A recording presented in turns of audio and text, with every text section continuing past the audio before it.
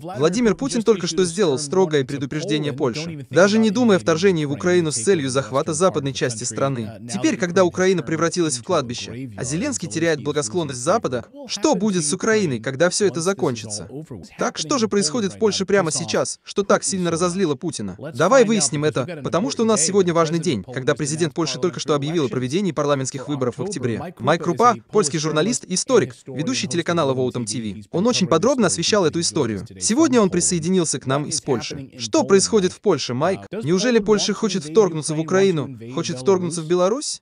Всем привет. Привет, Клейтон. Как здорово вернуться сюда. Во-первых, с моей точки зрения, с точки зрения того, как я вижу внутреннюю Польшу, я как бы тонко ориентируюсь во внутренней стороне польской политики. Так вот, я знаю, что в интернете ходит много разговоров и слухов о том, что Польша действительно хочет сделать интервенцию в Украине и Беларуси. На мой взгляд, это произойдет не раньше 15 октября. Так вот, в начале программы вы упомянули, что польский президент буквально всего несколько минут назад Андре Дуда объявил в своем твиттере, что он призвал провести выборы 15 октября, то есть в воскресенье. Так что теперь мы можем воспринять это как сигнал о том, что они хотят побыстрее провести выборы, чтобы иметь возможность въехать в Украину после 15 октября. Но даже в этом случае я бы не сказал, что они предпримут что-то опрометчивое до 15 октября. Небольшая перестрелка на границе между Польшей и Беларусью. Кстати, на прошлой неделе местные жители одного города, расположенного недалеко от польско-белорусской границы, обнаружили, что несколько белорусских вертолетов действительно вторглись в польское воздушное пространство. Так что это было незаконное вмешательство. Очевидно, что белорусская сторона утверждает, что ничего подобного не произошло. Кроме того, в Польше усиливается кампания по нагнетанию страха, в ходе которой правительство утверждает, что группа Вагнера, которая в настоящее время перебазирована в Беларусь в составе восьми человек, собирается каким-то образом вторгнуться в Польшу. Так что я воспринимаю это как часть предвыборной кампании, где много нагнетают страх. Ты прав. Но в слухах о том, что Польша вторгается в Белоруссию и Украину, я не нахожу ничего ничего существенного из тех источников, которые я слышу. Я думаю, что предупреждения, которые исходили от Путина в Кремле и во время той знаменитой дискуссии, которую он провел с Лукашенко несколько дней назад, были предупреждением сами по себе, в основном о том, что до них могут доходить слухи, поступающие из разведывательных источников в Польше. Я не думаю, что хоть один здравомыслящий человек в Польше, даже проукраинская оппозиция в Польше и проукраинское правительство, на самом деле говорят общественности, что мы даже подумываем о том, чтобы войти в Беларусь или Украину, что само по себе является хорошей вещью помощью в Польше. Я с тобой согласен. Сама мысль о том, что группа Вагнера собирается вторгнуться в Польшу, страну НАТО, была бы безумием. Но, конечно же, именно это имеет в виду Путин, не так ли? Ты член НАТО и собираешься вторгнуться в Украину. Этого мы не потерпим. Так что, похоже, Украина скоро превратится в поле битвы. Кроме того, несколько дней назад произошла размолвка между польским правительством и украинским правительством помимо белорусского аспекта. На самом деле, за несколько дней до этого в одном крупном польском новостном издании появилось сообщение о самом влиятельном политическом лидере Польши, Ярославе Качинском, который возглавляет партию «Право и справедливость». По-видимому, несколько его советников говорят ему, «Знаешь что? Я думаю, что нам следует смягчить проукраинскую позицию, потому что конфедерация оппозиционных партий, представляющая собой конгломерат либертарианских националистов и католических традиционалистов, действительно решительно выступила против этой очень проукраинской позиции, которую в настоящее время представляет Варшава. И они сказали Качинскому, что нам нужно смягчить риторику и акцент, так что внезапно мы стали свидетелями смены настроя со стороны правительства, когда они говорят, «Кстати, украинцы, будьте более благодарны за то, что мы вам даем». Это было две недели назад. Он написал в Твиттере, что за все, что Польша сделала для Киева,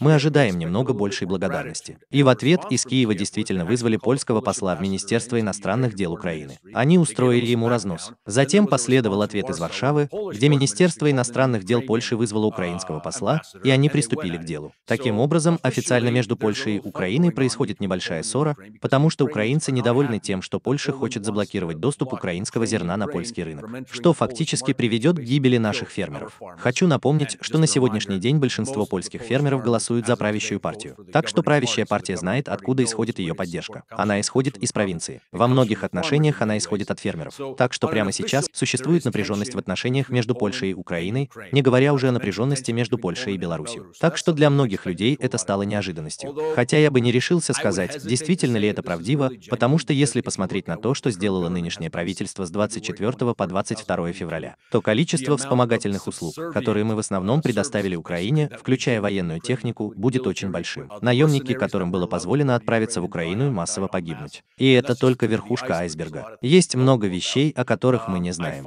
Я хочу спросить тебя об этих выборах. Мы, конечно же, уже говорили здесь об огромном количестве украинских беженцев, которые хлынули в Польшу миллионами людей.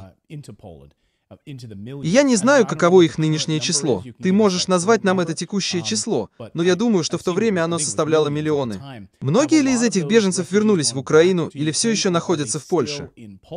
И как это повлияет на избирательный ландшафт? Большинство украинцев, прибывших в Польшу после 24 февраля, все еще находятся в Польше. Так вот, если добавить это к тем украинцам, которые уже были здесь до войны, а их было около полутора-двух миллионов, то я бы предположил, что прямо сейчас в Польше находится примерно по оценкам, проживает около 4 миллионов украинцев. Я говорю не о нелегалах, которые находятся здесь. И я думаю, что это довольно точное число. Но прямо сейчас мы видим усталость польского электората от Украины. Это уж точно. Именно поэтому ты наблюдаешь, как меняются отношения двух стран с их правительством. Потому что до сих пор любой, кто высказывал другое мнение об украинско-российской войне и украинско-польских отношениях в их нынешнем виде, был прав. Так вот, в связи с этой войной, как это называется, российские агенты продвигают кремлевские тезисы и все такое прочее. Но совершенно неожиданно правительство выходит и говорит, «Эй, мы должны поставить Польшу на первое место». Они действительно поставили хэштег. Все правительственные чиновники и министры, они поставили хэштег Польша на первом месте, что мы должны занять жесткую позицию в отношении Украины. Так что усталость от Украины ощущается очень сильно. Если бы вы поговорили с любым типичным польским избирателем на улице и спросили его, например, должны ли мы продолжать оказывать помощь. Не следует ли нам привлечь в Польшу еще один миллион украинских беженцев? Каждый из них скажет тебе «нет-нет». И совершенно очевидно, что они скажут «нет» любому польскому военному вторжению в Белоруссию и особенно в Украину. Теперь можно только гадать, как это отразится на голосовании. Но одно можно сказать наверняка. Все опросы общественного мнения показывают, что Польша устала от Украины. Все опросы показывают, что уровень поддержки привлечения украинцев и украинских иммигрантов значительно снизился с примерно 80% до чуть менее 50%. И у нас определенно нежелание участвовать в каком-либо польском военном вторжении в войну. Так что, к счастью, общественное мнение открывает на это глаза. Я боюсь, что для многих вещей может быть уже немного поздно, но знаешь, как говорится, лучше поздно, чем никогда. Как ты думаешь, что произойдет после 15 октября? Если до этого времени не будет вторжения в Украину или вторжения в Беларусь, а выборы начнутся и пройдут. Что произойдет после октября? Как ты знаешь, знаешь, в Польше есть такая фраза. В Польше эта фраза звучит так. Польша от моря до моря. Популярная фраза в Польше для тех, кто хочет как бы протянуться от Балтийского моря до самого Черного моря.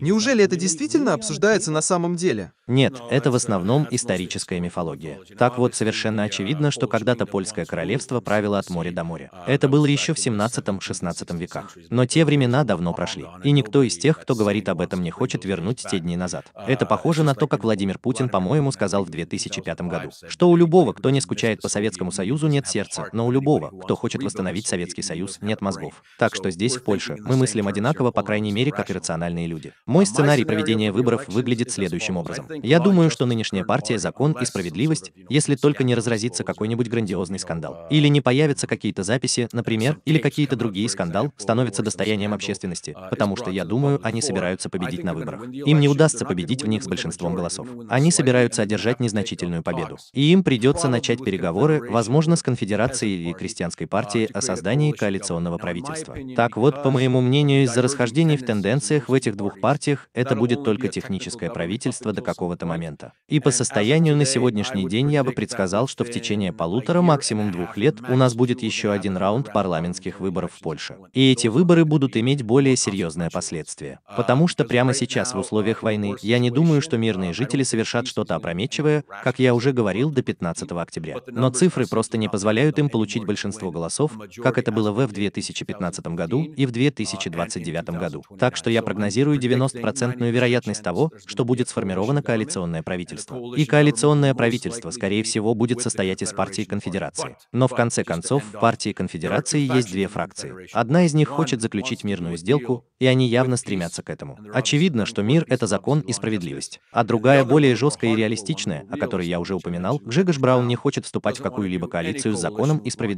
Они хотят объявить Польшу вне закона и добиться справедливости за то зло, которое, по их мнению, она причинила Польше за последние пару лет. В том числе за то, что она была послушным клиентом режима Байдена в связи с войной на Украине. Так что будет интересно посмотреть, что из этого получится. Это очень увлекательно, очень увлекательно. Сейчас эта страна играет очень важную роль во всем этом геополитическом ландшафте, особенно в связи с войной на Украине и тем, что там происходит. Большое тебе спасибо, Майк. Как всегда, рад тебя видеть. Ты очень проницателен. Это потрясающая проницательность. Большое тебе спасибо, Майк. Мы действительно благодарны тебе за то, что ты присоединился к нам. Спасибо вам, ребята. Надеюсь, скоро увидеть тебя. Береги себя.